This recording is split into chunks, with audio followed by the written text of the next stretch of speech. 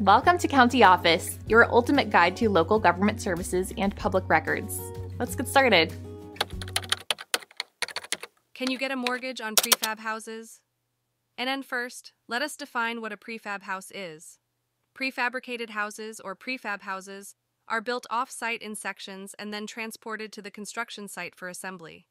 They come in several types, including modular, panelized, and manufactured homes. The key question is whether you can secure a mortgage for such homes. Den lenders typically treat modular and panelized homes similarly to traditional homes. These types of prefab houses are built to the same building codes as site built homes. This means they generally qualify for conventional mortgage financing. However, the situation can be different for manufactured homes.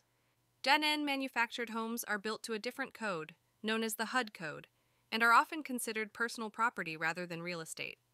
This can make obtaining a traditional mortgage more challenging.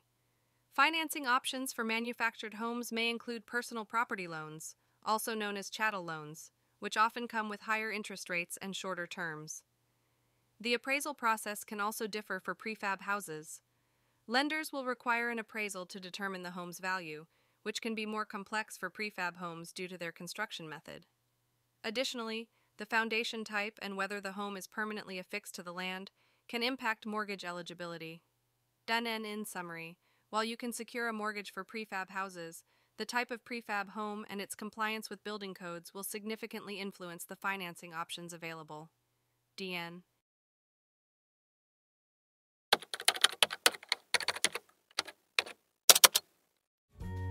To learn more, check out these links, which you can click in the description below. And feel free to comment your questions. We're here to help. Thanks for tuning into our video. Please like and subscribe and leave a comment below. See you in the next video.